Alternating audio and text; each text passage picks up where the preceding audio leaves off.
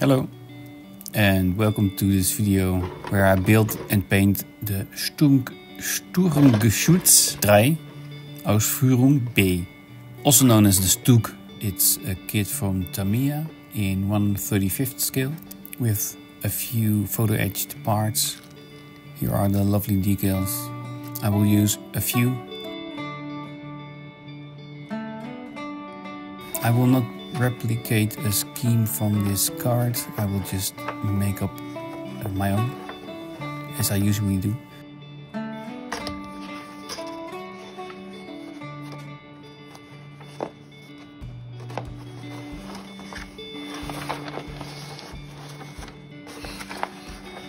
Here are the photo etched parts.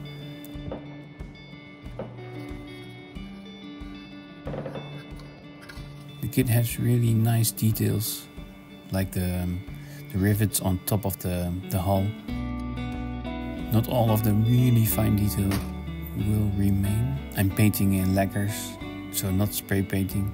That always results in the loss of some detail. But let's build.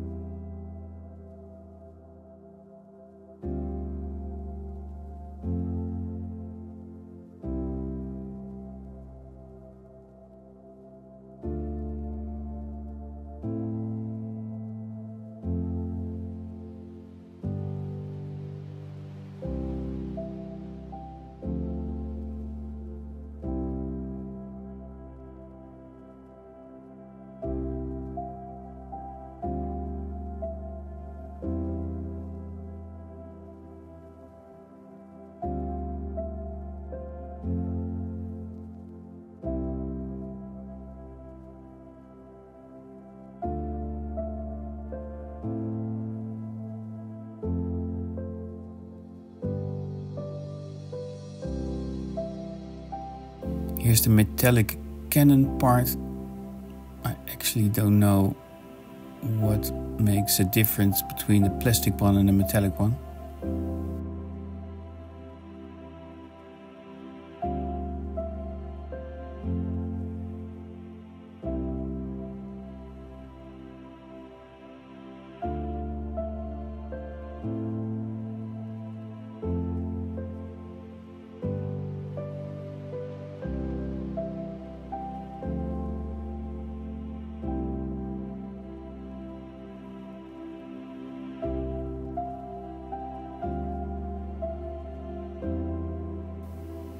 These vents are really nice uh, with their small detail.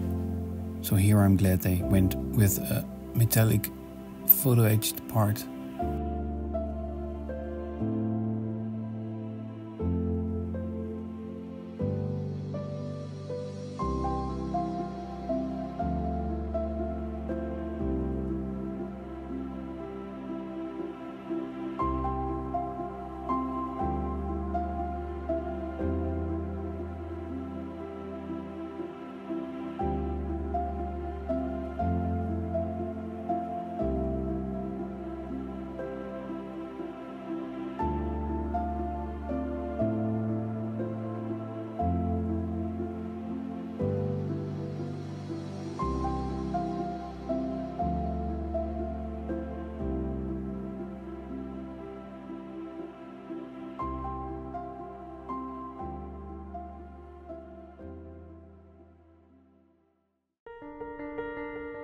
As you can see here, I've skipped forward well, quite a bit. I've primed most of the tank in mahogany brown. I put some Tamiya putty on some exterior parts of the top of the tank to represent cast iron texture. On the back is um, some planks to hold storage, which I will be making in the next episode. I added an antenna and I've painted the inside. You can't see much of the inside in the end result because the hatches I've kept three hatches open, but it's it's dark and it's really small. On the other hand, it's really nice to do. And I've used some decals from um, Maschinenkrieger kits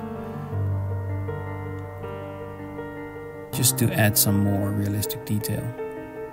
And this is not my prettiest job, but it is more than sufficient. I think.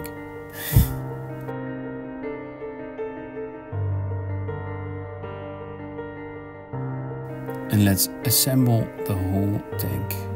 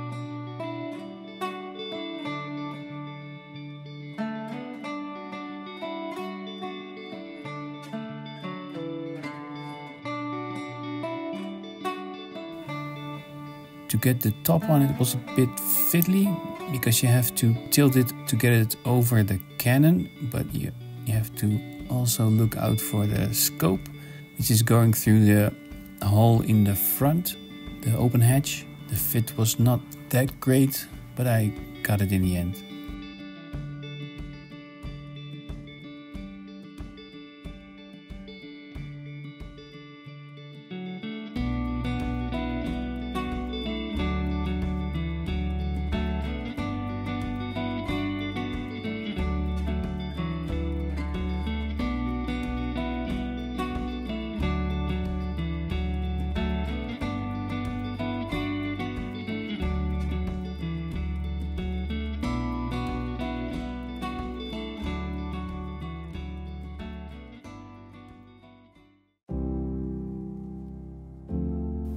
As you can see on the left, I've there's um, design I've made in Photoshop. It uses uh, German gray primer red. I forgot the exact name of it. Dark red and white. For the underside, I've used um, darker color, almost black. This hull red is often used as um, as a primer color but I used it as the main color. I also placed um, the decals on it from the kit and from Maschinenkrieger. Just scan in a lot and try out where it looks good. And in the, in the design, it all looks very clean, but it, it all gets um, dirty, washed in the end, and mud.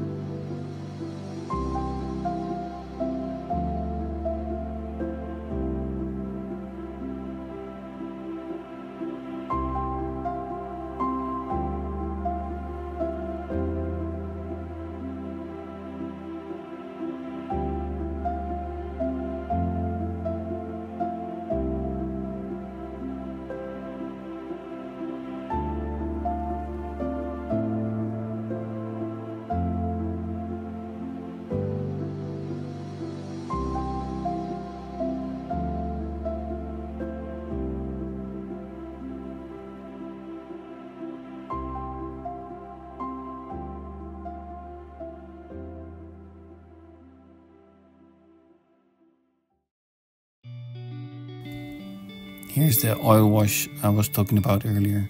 I use it to to make the tank filthy, but also to blend the colors, to, to unify the colors, to give them all a more a brownish tint.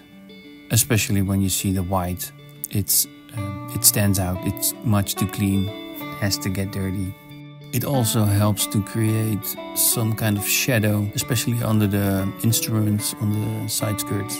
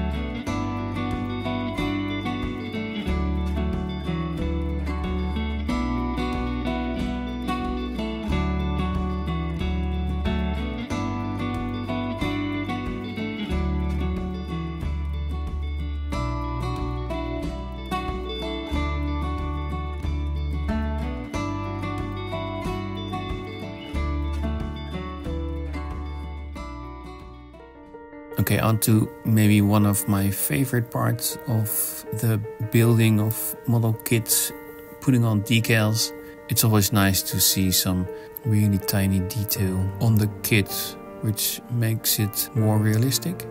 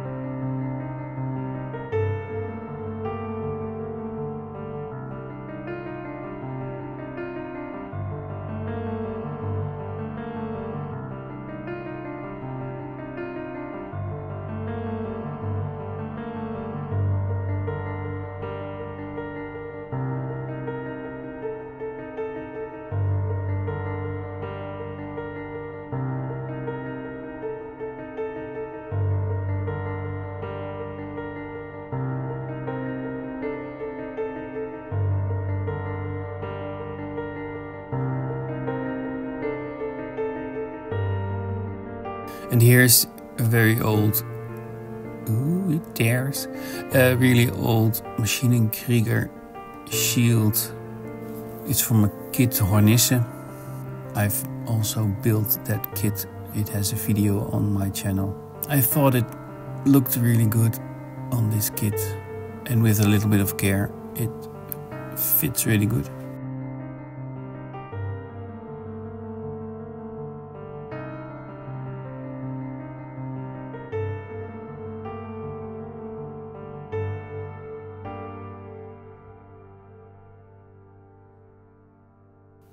Oh yeah, and here I did not use actually a, a decal, but on the decal sheet of the Sturmgeschütz, I cut out the letters, which are always on, on the mostly on the on the bottom of the decal sheet.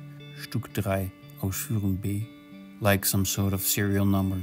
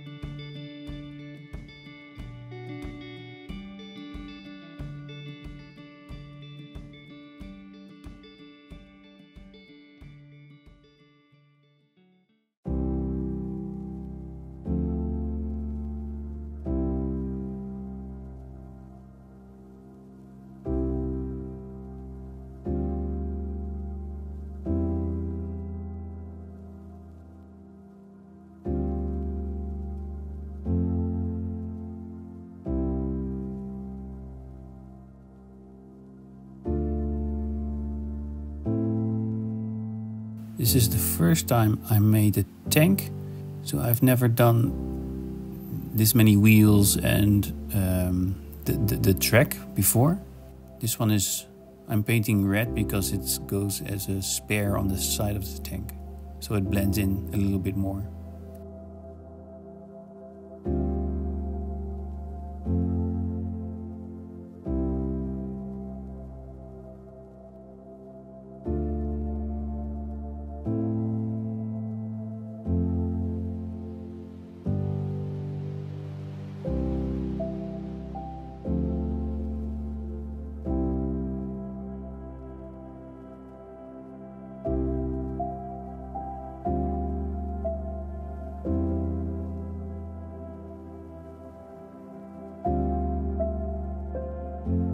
Also, really fun part of the painting process is chipping. Here I'm using a sponge to make really small scratches and paint loss. So I'm mainly focusing on edges and this middle part where I presume all the crew gets out and stands on first.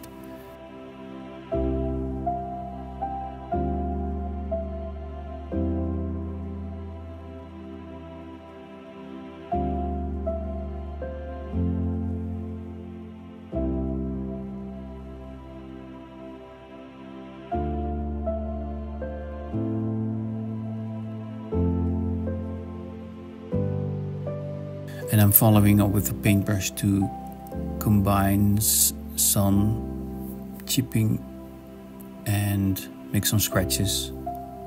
Just like the decals, it's a way of giving the tank some realism, some some detail and visual interest like it's lived in, worn, used and not a uniform blob of paint.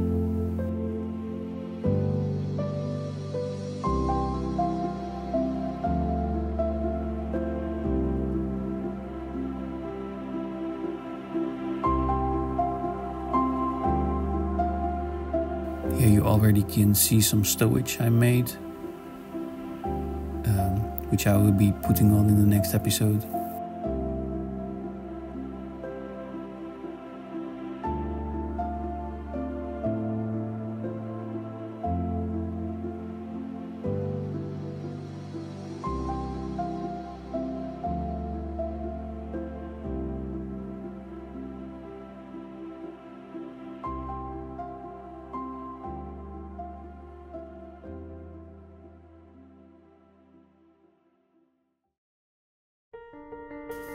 Last part of this video I will be putting on a, a wash to simulate some rust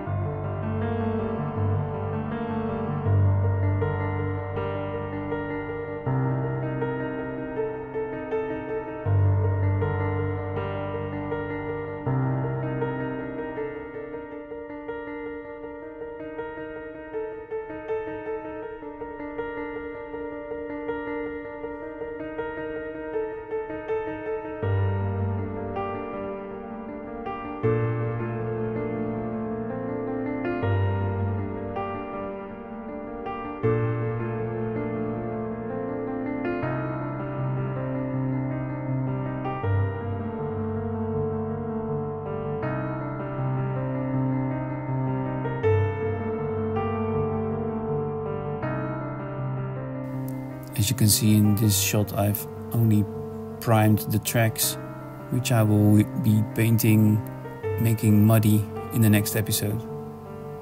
I've never done that before, so um, I was very curious for that process.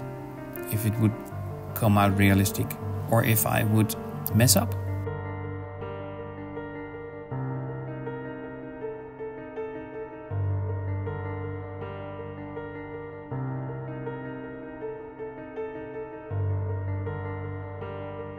And finally, I'm using a lead pencil to replicate some shiny metal bits.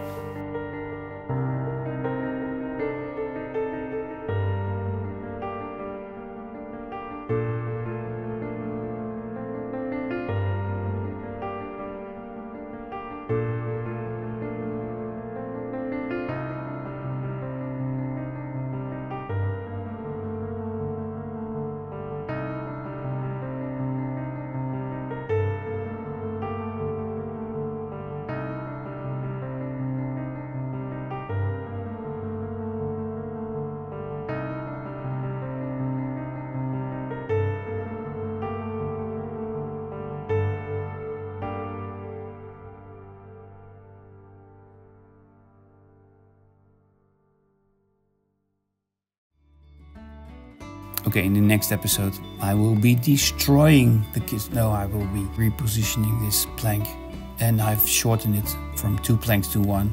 I will be placing the stowage and also trying to make a cloth to cover some stowage. That was really fun. Giving the tank some mud, the tracks painted, and of course, some final completed shots. So, hope you liked this video and see you in the next one.